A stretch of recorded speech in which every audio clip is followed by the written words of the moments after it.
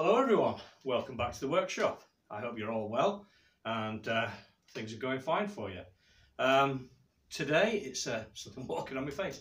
Today is another Bantam D7 video. Um, we're going to have a look at the rear wheel, get that back together. So that will be uh, wheel bearings and uh, brakes and a new tyre and tube. So um, I shan't waffle on too much, we'll get straight into it. Uh, just to say, thanks very much for tuning in and watching. It's very much appreciated. So, um, right, let's get on.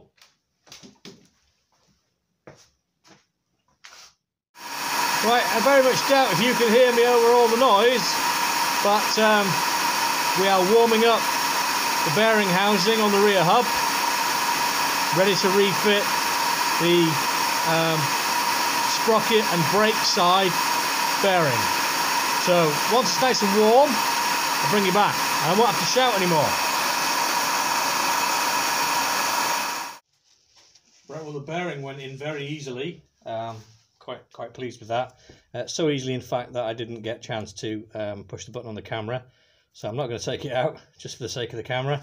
But um, top tip, don't forget to put the um, uh, thrust washer in there because you need that. It sets the distance of the bearing and that sets the distance of the brake plate and obviously the um, engagement of your brake shoes. If, like me, you have to make another one on the lathe because uh, it's a bit gnarly, the old one, um, don't forget to make the centre hole um, big enough to clear the cone on the axle because otherwise you'll end up with uh, not enough engagement on your bearing surface and also um, not enough um, axle sticking through. So that's not good. Um, so yeah, don't forget to do that. So that's in. We're now going to put the locking ring in. Um, the locking ring has been cleaned up. I cleaned all the holes up, um, just tidied up the holes as you can see they were you know in quite bad condition really um, they'd been undone with a punch I imagine several times in their lives um, right I'm just going to put a little bit of grease on a tiny bit of grease um, not the kind of grease application that we found when we took it apart but just to stop the threads from galling uh, it's quite a fine thread. And hopefully we can get it engaged without cross threading it. Now I've got a new a new gadget which I'll show you. And it is an adjustable peg spanner. Um, when I took the uh, when I took all this apart I got a message from Aid uh, who said don't go making a peg spanner just get one of these and it'll do you for every lock ring you ever come across and um, yeah came off Amazon it's a laser um, laser brand adjustable spanner. So fantastic. Thank you, Aid. And uh, it's just the job. So we can um, we can screw that into there without worrying about damaging the uh, the nut or the locking ring rather. Oops. Helps if you uh, pay attention. Instead of rabbiting on. Anyway, in it goes.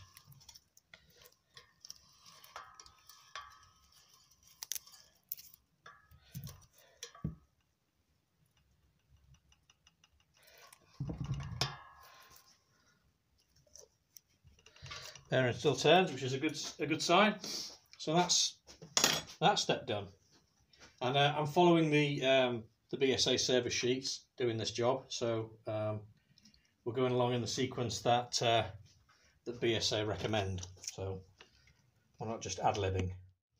I just had to stop you there because um, remember that grease that I smeared on the threads? Well, I had it on my fingers and then I somehow managed to get it all over the lenses of my glasses. So yeah, that was that was good, wasn't it?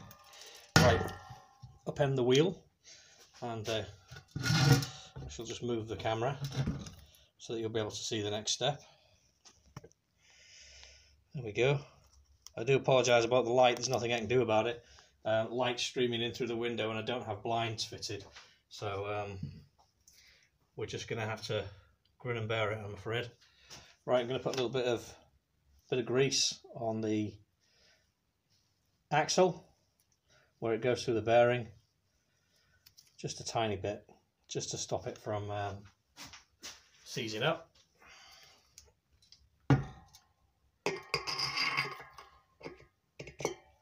There we go.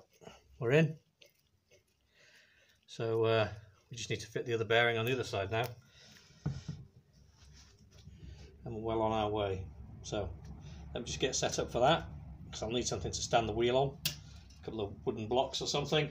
And um, we'll go from there. Right, slightly better vantage point for you. Uh, a little bit more grease on the bearing. Again, just a smear. Got the housing warm. So uh, hopefully we should be all right. Tiny little bit on the shaft. Again, it's just to stop stuff galling, metal on metal and all that. It isn't uh, doesn't need to be lubricated. The bearing is lubricated and is shielded. Right, I've got a socket that should do the job. We're on some wooden blocks so that we're uh, we're not going to damage anything on the uh, underside or displace anything.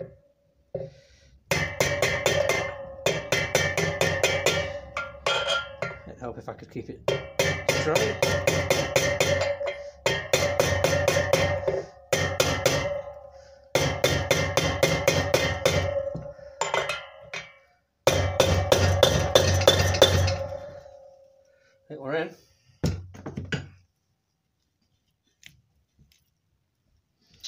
Like the feel of it though. Don't like the feel of it. One sec. Right, we're all good. Um, I just had the bearing a little bit squint, not all the way down, so uh, she's good to go. I don't like that methodology of fitting bearings, quite frankly. Um, I find it a bit. I just don't like hitting bearings. Um, just something that I don't like to do. So a little bit of grease on that, tiniest amount. And uh, we need to get the speedo drive on. Now I've not rebuilt the brake back plate yet, so we're not going to be able to nip this up, uh, but we can get it lowered into place and uh, engaged on the dogs at least.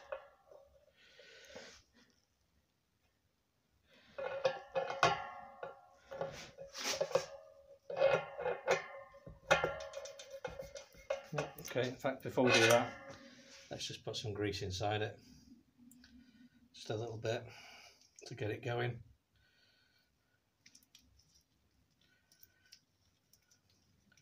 And we will re-lubricate it via the grease nipples uh, properly. Just a little bit. Right. There we go. So that's the speedo drive. Just check it's going round. It is. And uh, now then, we need a washer and a nut.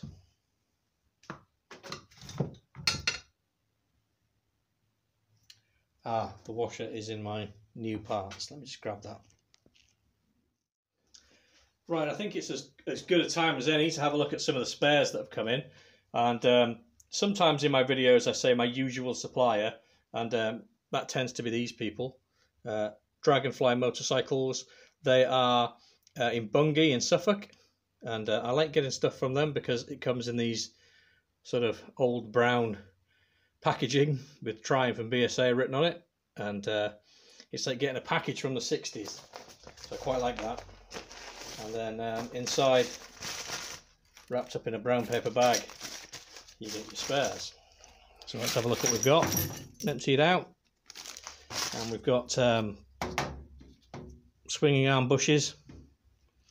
And we've got a brake pedal spring, because I noticed that that was missing. We've got our chain adjuster plates. And there's the washer that we need for our speedo drive. Um, I also uh, picked up a brake rod spring. That came from Lancashire um, Classic Bike Parts up in the northwest. Um, I've used him a couple of times. I think he's uh, he's quite good. He's got quite a lot of parts. He's on eBay. And then um, I also picked up a set of um, Girling Classic brake shoes. Um, I can't remember the supply. I've not used them before. Again, it was on eBay. Um, and we've also got a tube and a tyre. So we're doing all right. I think we've pretty much got what we need. So this is the part we need for the next job. So we'll get back to the wheel. Right, so back over at the bench with our wheel and um, our speedo drive is fitted and working. Uh, we fit our washer and then um, one of our nuts. I'm just going to do my old trick of putting a little bit of grease on the thread just to stop it from from galling or binding and uh, I think we're going to have to hold the other side to tighten that down. Obviously you tighten the two nuts against each other once you've got the brake plate on but we're going to have to assemble the brake plate first so bear with me and I will um, get that sorted out. Okay well that's gone on there nice and hand tight and uh, there was just a little bit of a burr at the end of the thread there which needed cleaning up. Uh, one thing you don't do if you can't get a nut like that to start is reach for the mole grips and put it on the other side because all you'll do is destroy the thread on the other side. Um, if you've got one of these, very very handy uh, thread file. Uh, this is a um, inch uh, threads, imperial threads thread file, so 14, 26, 11, 20 TPI on that side. And you've got uh, 18, 12, 22 and 16 on that side. And um, very very useful uh, piece of kit for dressing up threads when you can't get a nut to start. Very useful indeed. I've used it many many times over the years that I've had it and it was made by Sykes Pickavant made in England number 015 600. So there you go. If you want to get yourself one of those, I think you'll find it is a very handy tool. Right, next job is to assemble the brake plate. So we'll get the wheel out of the way and we'll have a look at that. Right, well I just um, got on with it and um, rebuilt the brake back plate. Not a difficult job. I'm sure most of you, if not all of you, have, uh, have done it many times before. Um, I put a little bit of grease on the pivot. There is a, a, grease fitting, but I don't intend using it because I think that's just a surefire way to get grease all over the linings. A um, little bit of grease on the pivot, a little bit on the face of the cam, a little bit of grease on the um, the fixed pivot down here, and uh, that was it.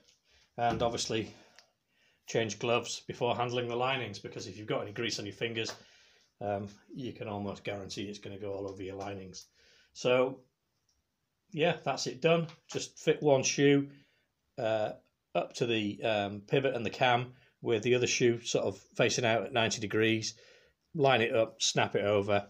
Jobs are good and no special tools required.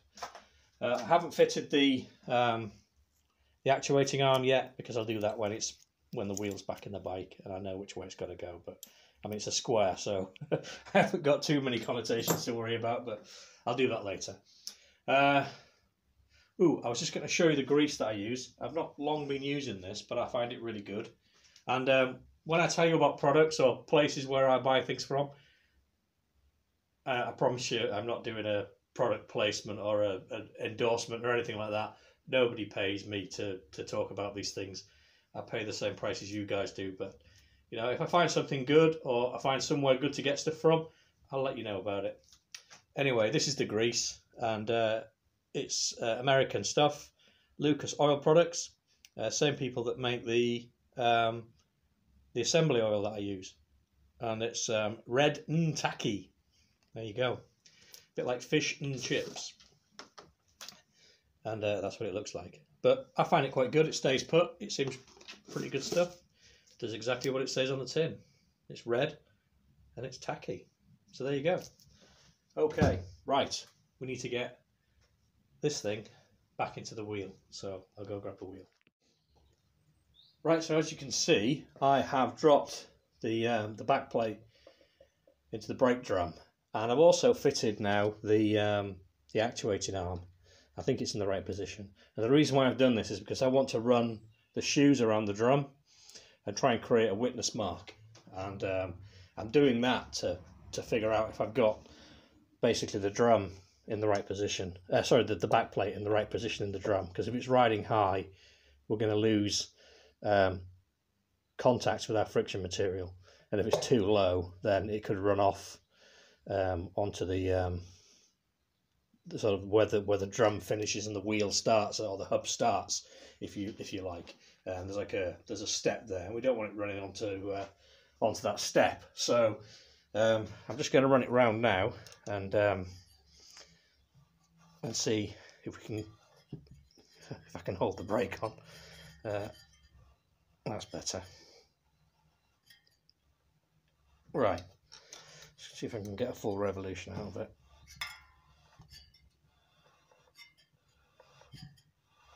Okay, we'll have a look at that. See if it's made a mark. It should have done. Oh, yes, it has. And um, yeah, it does look as though it's running in the right right part of the drum. Although I have to say, I don't know if you can pick that up on the camera. It's quite difficult. It does look as though it's contacting. Um, let me let me get into the camera. There we go. It looks like it's contacting this area here. Well, across this area here, this band here, more than here or here. So that indicates to me that there'll either be a bit of running in to do, a bit of bedding in to do, or we might have to machine the linings. And I've done that before on an MZ. Um, well, it was an MZ hub that was fitting to another bike, and um, I had to make a little fixture because the brake shoes kept riding up the back plate. But I don't think that would happen on this because the lower pivot is quite a, you know, you, you've got these these crescent shaped pieces fitting onto the pivot, so they're quite a positive location. But yeah, on the other one that I did, the, the brake shoes wanted to move away um, against the cutting forces. So I had to make a clamp that went between here and here. Um, I made it with a little threaded, uh, like a, like a turnbuckle almost, and it tightened up and, and pulled them in. But um, I don't know where that is. I might still have that actually. But anyway, I don't think I'd have to do that with this. But hopefully we won't have to do any machining. We'll just we'll let them bed in for a little bit and maybe pop it out again and have a look. See if it's um, if it's contacting across the full width of the uh, friction material. But anyway, that's that's not for now, is it? That's for uh, for later on. But we'll see. See what the brakes are like. Because um, I don't think Bantam brakes are fantastic when they're in great condition, but um, well, modern linings I imagine will help. But um, from what I've heard, modern linings will help. But we certainly don't want known faults in there if we can help it.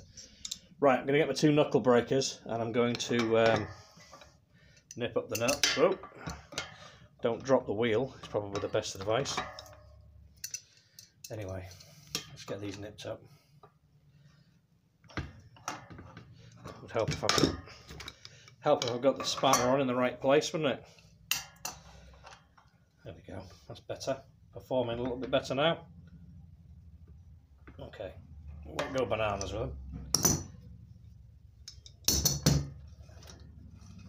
That's good. So, get it back up on the blocks. Oh, I'm determined to drop this, aren't I? There we go. Oh, come on, team, perform. Right, tyrant tube next, so I'll go away and do that.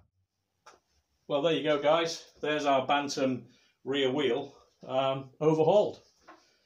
I deliberately didn't film fitting the tyre because I'm not me when I do tyre fitting. So uh, best avoided, I think. Um, maybe one day I'll make myself a, a tyre fitting um, pole in here, you know, sort of removable thing like what Dale Swager has. But uh, until then, I'll just have to continue grunting and swearing on the floor. But um, yeah, I spared you that bit. I'm, I'm sure you're uh, very glad. Anyway, um, there it is. It looks all right, I think. It's a um, Kenda Classic, and uh, they're made out in the Far East. But uh, I don't know. I'm sure it'll be perfectly fine. Um, it's an exact copy of the original Dunlop pattern, which is why I went for it. Uh, I wanted the classic look. And um, your choice is quite limited, really, I suppose, um, unless you want to go for a more modern tyre, which I didn't want to do. But um, yeah, we don't need a high performance handling tyre really on a 175 Bantam. I think, you know, if it rains and you don't go on your ass, it's done its job. So yeah, I'm more than happy with it. And uh, as I say, it looks it looks the part as well. Um, the only other thing I've done really is, is to just loosely fit the um, chain adjusters. I put the new blocks on that we that we got, and I fitted a new nut on each side as well, um, just to make the job a little bit easier when it goes back together. And they're um, quarter British Standard cycle, um, just in case you need to know if you need to order some for your own bike. Uh, let's have a look at the other side. There we go. Yeah, you know, pretty much as you've seen um, with the addition of the chain adjuster. So there we are. Um, we can put this to one side and uh, pull the swinging arm back out again. And uh, I think um, the next video will be doing the bushes on the swinging arm. So I'm looking forward to having a crack at that and, and getting that back together. But uh, as ever, thank you very much indeed for watching. I do appreciate the time that you spend with me here in the workshop. And uh, to all my subscribers, existing and uh, brand new, thank you very much indeed. Um, please keep the comments coming. I'm getting some fantastic positive comments. It's really encouraging. Um, you know, it makes me want to come back out here and make another video. And uh, that's what it's all about, I think. So thanks very much. And uh, I shall see you, uh, see you soon. Bye for now.